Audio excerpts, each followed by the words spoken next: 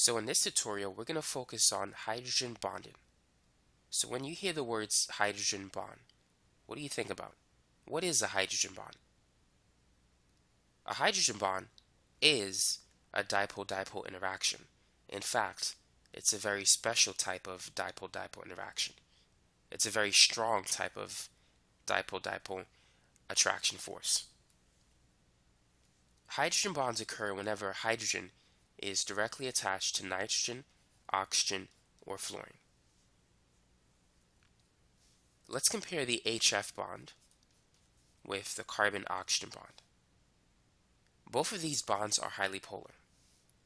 The electronegativity value of hydrogen is 2.1 and of fluorine is 4.0.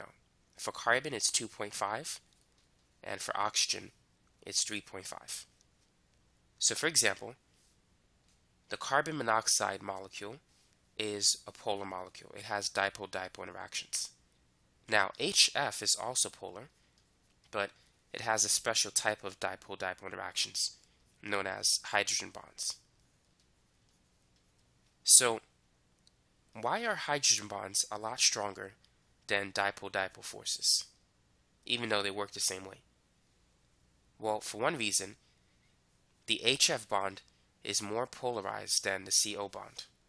The electronegativity difference is a lot bigger in HF. It's 1.9 compared to 1.0 in CO.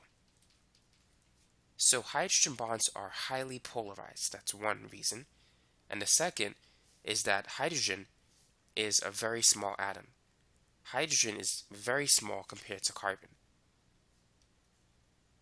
The average atomic radius of hydrogen is 37 picometers, and for carbon, it's 77 picometers.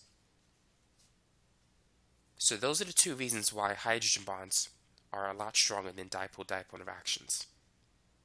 It's because those bonds are highly polarized, there's a huge electronegativity difference, and also because the atoms involved are very, very small.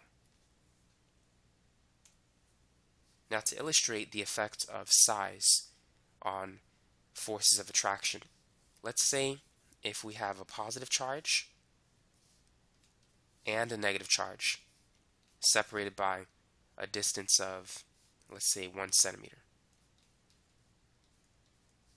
And let's say that the force of attraction that these two feel, we're going to call it F. What happens if we bring these two charges closer together. So let's say if we decrease the distance from one centimeter to half a centimeter.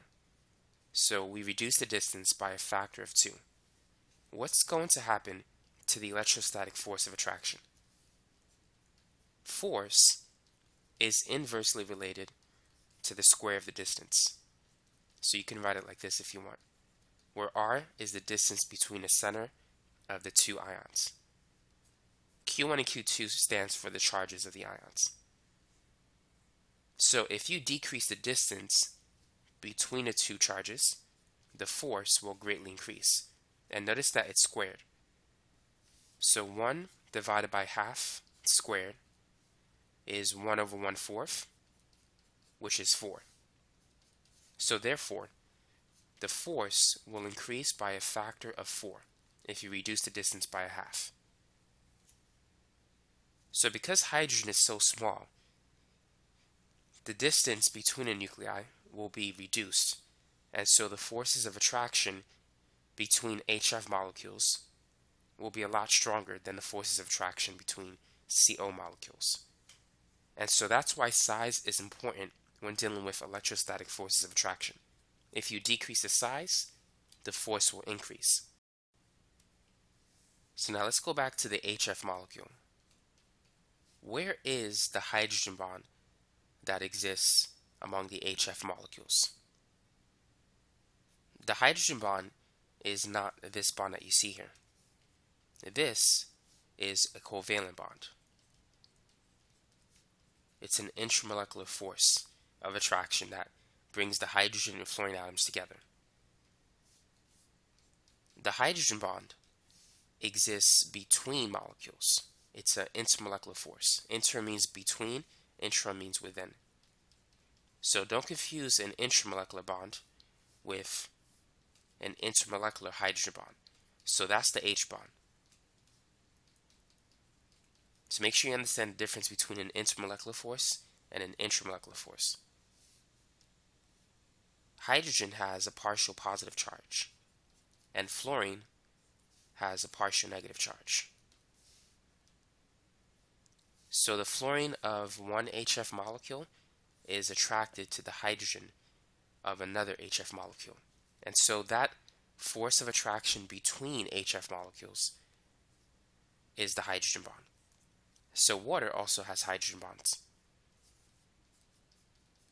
The oxygen atom of water carries a partial negative charge, and the hydrogen atoms are partially positive. So water molecules are attracted to each other. So the oxygen of one water molecule is attracted to the hydrogen of another. And so that is the H bond within water. So hopefully this makes sense to you because it's very important that you understand that. So this is a covalent bond. It's an intramolecular force of attraction. And this is an intermolecular bond or hydrogen bond. So that's the hydrogen bonds that exist between uh, water molecules. So now at this point, I want to compare the energy differences between breaking a covalent bond with breaking a hydrogen bond.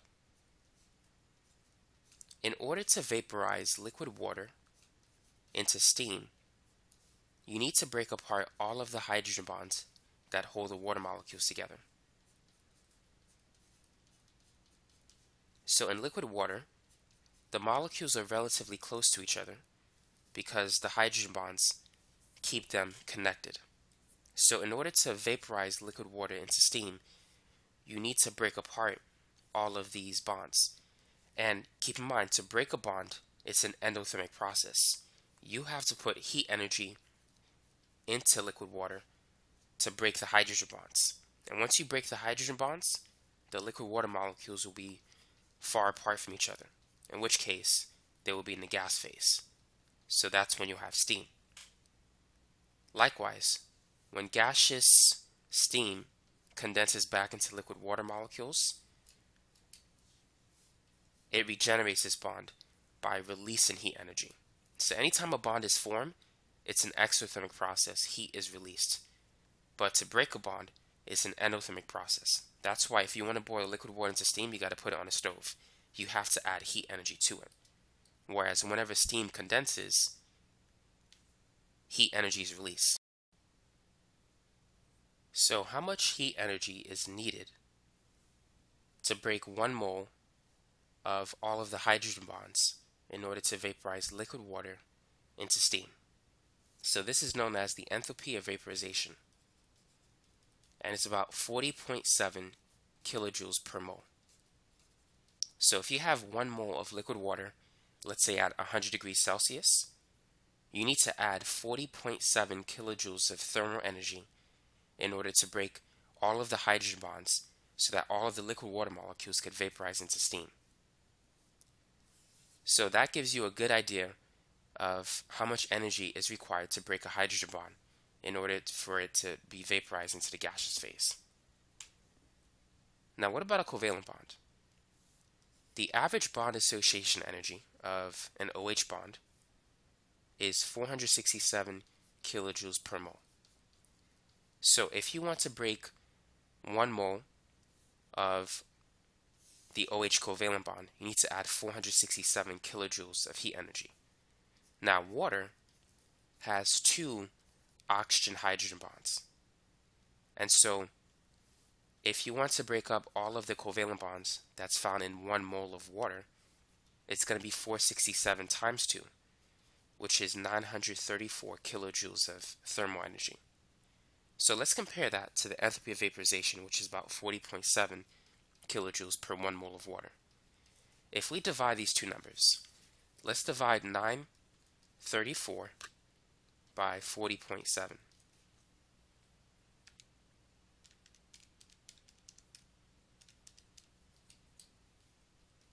This is about, if you round it to the nearest whole number, 23. So the covalent bond, that is the OH bond, is about 23 times stronger compared to the hydrogen bond between uh, water molecules. So as you can see, a covalent bond is a lot harder to break than a typical hydrogen bond. So intramolecular forces are a lot stronger than intermolecular forces.